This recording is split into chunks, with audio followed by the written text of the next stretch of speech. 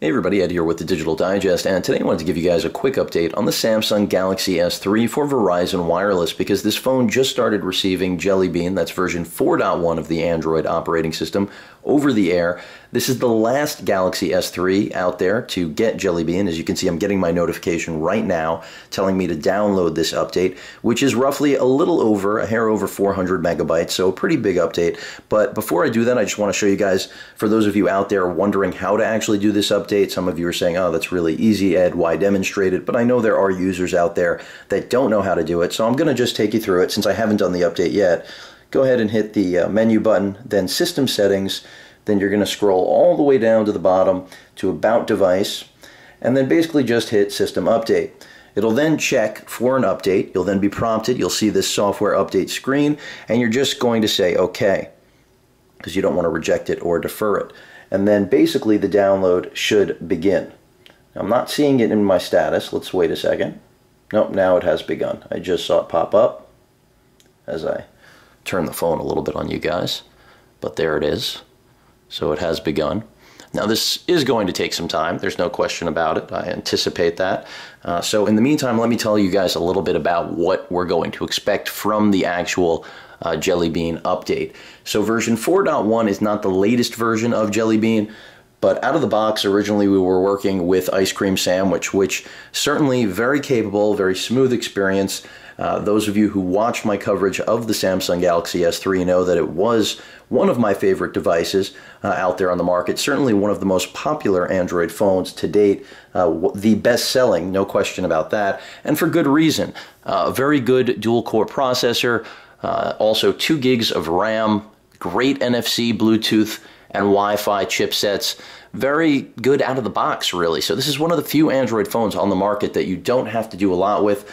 Uh, rooting really not necessary, and that's rare for me to say because a lot of Android experiences, I mean, clearly rooting is a matter of personal preference, what you want to be able to do with your device. But in terms of functionality, TouchWiz really for the first time, not a piece of bloatware, works quite well. So that's a big thing because usually going through the motions with most of the skins that are out there I have to say is really not worth the investment of my time, I believe, or most of you out there. And that's why a lot of us enjoy customizing Android. And that's part of the beauty of the OS. You can pretty much do anything you want with it, whether it's through launchers or doing just about anything you want. Uh, custom ROMs, of course, you do need an unlocked bootloader. I'm not going to get into that stuff. But updates like this, Samsung clearly not known for getting these updates out in time, uh, a poor reputation. But hopefully, this is part of that change. Granted, again, as I mentioned at the beginning of this video, they are very late to the party when we actually line it up with the balance of carriers who I'm pretty sure everyone else other than Verizon was able to get this update out about a month ago. So, considering the fact that uh, Verizon also had the Samsung Galaxy S3 later than everyone else, similarly uh, to what has gone on now with the Galaxy Note 2, another phone that launched you know, basically a month previous, or prior, I should say, to its launch on Verizon. Similar thing here. Uh, of course, this was the precedent set with the Galaxy S3 because, as I mentioned before, this is the best selling Android phone uh, out right now. I do think the Galaxy Note 2 is going to become the second best selling, considering we know it did move over 5 million pieces before uh, it actually was even sold through Verizon. And despite whether you're a fan of Verizon or not, we all know they are uh, a tremendous carrier, great service. You can't really deny that. Uh, it's not really a matter so much of where you're located anymore like it used to be, uh, because their LTE network right now is pretty much the largest and strongest in the network. Uh, of course, time will tell if they remain uh, the top dog, but for now, I still recommend to all my users out there if it is uh, affordable, feasible in terms of your economic situation, then Verizon's definitely a great carrier to go with, uh, especially since everyone is pretty much tiered. Granted, T-Mobile right now some very good offers, but uh, at least where I'm located, T-Mobile's network is not the strongest. Uh, for my personal use or business use. Uh, so Verizon still takes the cake there. You can see this download's taking some time. We're at 67%, 68 as I said that. Do keep in mind though that this is over 400 megabytes, so uh, a very sizable update part of uh, also something to me that signifies how powerful these devices have become.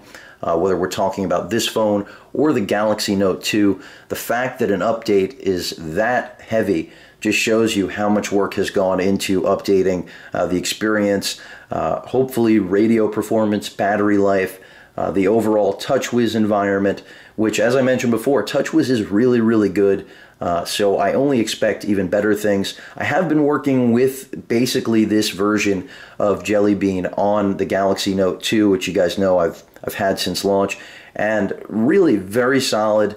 Haven't run into many problems. It should be very, very similar uh, in terms of the experience we're going to get out of the Samsung Galaxy S3. Obviously, no S Pen uh, involved, but overall, a very, very similar environment since they're both running the same version, I believe, of TouchWiz. I'm not positive on that, but I'll know once this gets updated and I can look at both phones. And uh, outside of that, I know we've got an update in the camera. I know that uh, obviously, the notifications have changed, much like on the Nexus 10. We don't have that tablet notification system of a left and a right uh, notification system, or I shouldn't say notification, but settings and notification uh, being up at the top. But they are now a little bit different in terms of the layout, but it's the same thing that we've got on the Galaxy Note 2 across all carriers, where they've basically included a call button uh, some quick shortcuts have been built in to your notification menu is what I should say to uh, make it as succinct as possible. But here we are now up to 98%, so at least just about done with the download. And uh, for those of you who have hung in there, uh, you know, thanks, uh, or I hope you're enjoying at least because I questioned whether or not it was worth showing you guys the actual update. But here we go. Now we've got the traditional warning. We're going to go ahead and say OK. And uh, again, this will take us through the paces of rebooting and actually installing Jelly Bean.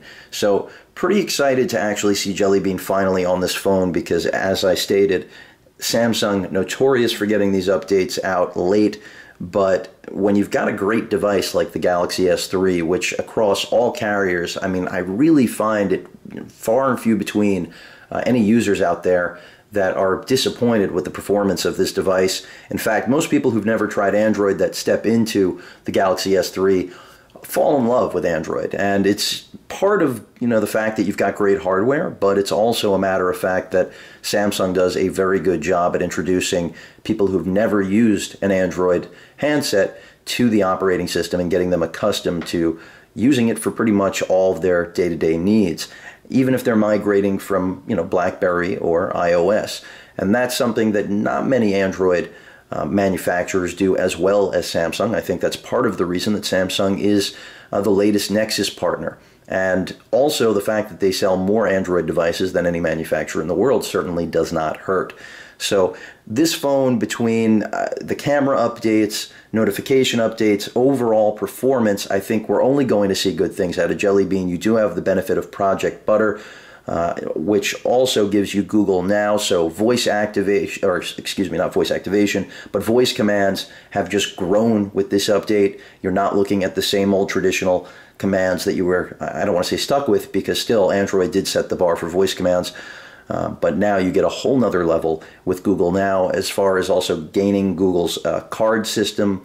So, you know, getting uh, instant cues for things like your uh, travel time to get home on any given day, back from work, all of these things from your lifestyle and the intelligence of uh, Jelly Bean are going to be incorporated into the TouchWiz environment. And TouchWiz is already, in my opinion, as I've stated through the course of this video, one of, if not the best uh, overlays or environments that you could possibly have running on top of Android, especially now that we have hardware that doesn't end up looking taxed when having to deal with TouchWiz uh, in addition to uh, the stock Android that runs underneath. So that's a really big step. And then part of that is obviously these brand new processors we have, whether you're looking at the dual core chip in here or the quad core Exynos uh, that is in the international version of this phone or the Galaxy Note 2, which is clearly a, a newer chip, but still also a quad core Exynos.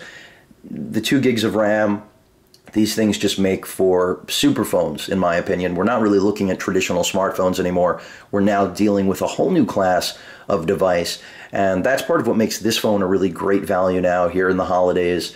It's gone down. Uh, in some cases, I've seen it even for free So, this is a phone that if you're interested in getting right now, it's certainly a very good time since it is running the latest version uh, of the Android operating system that you can actually get without getting uh, a Nexus device, which a Nexus device is a great device in my opinion.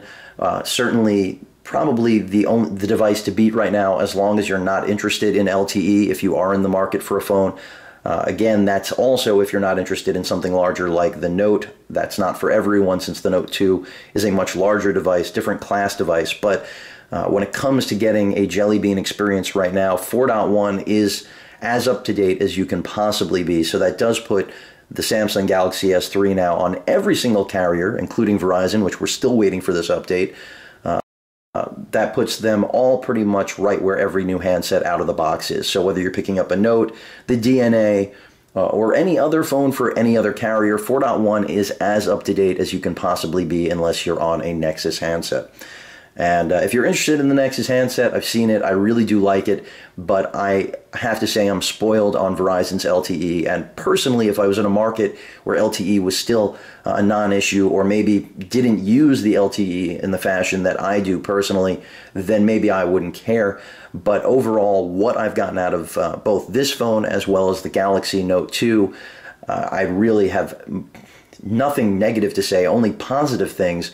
And as a result, I don't feel like I'm missing anything uh, from the Nexus environment, especially since I've got LTE and the S Pen right now, guys. I'm loving the Galaxy Note 2. Really, uh, the best device I've ever touched out of a box. And the fact that now uh, the uh, bootloader has been unlocked and custom ROMs are on the way really says a lot for how much better that device can possibly get uh, as developers get their hands into it. And that also comes from the sheer number of units that Samsung sells when it comes to this phone as well as the Note 2. So Samsung really doing their part to manufacture great equipment. And I'm not just being a, a fan of Samsung here, it's just a matter of fact and what's available right now in the market. So hope I haven't put you guys completely to sleep.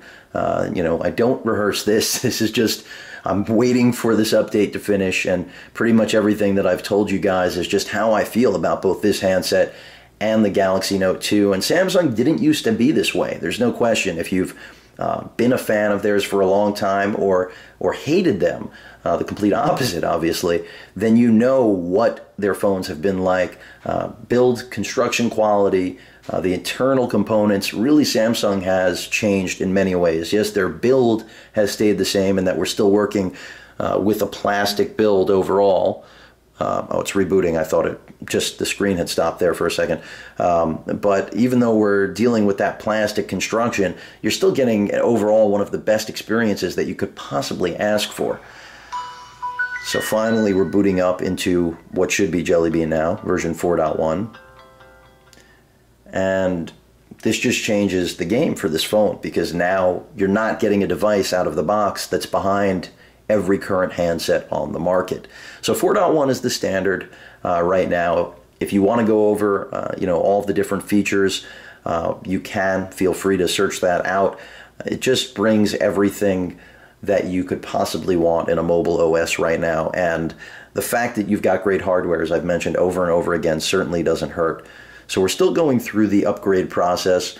And also, this will give those of you out there who haven't purchased the phone, because you're going to need to do this update. Uh, I don't imagine that the handsets will be coming out of the box updated for quite a while. Again, this is with Verizon. I'm only speaking for Verizon Wireless, uh, because when an over the air update rolls out like this, it does usually take uh, you know a good amount of time before the handsets are being actually shipped upgraded. So Right now, the entire up, upgrade has taken roughly 14 minutes, uh, give or take. So uh, I would have to guess we'll probably be done in the next minute, at least with the update. Finally, get to a home screen and be able to at least show you guys what I expect some of the improvements are. And Samsung may even give us a walkthrough as they often do, because as I mentioned earlier, that's one of their hallmarks, and I give them a lot of credit because too few manufacturers really focus on making sure that the owner of their brand new device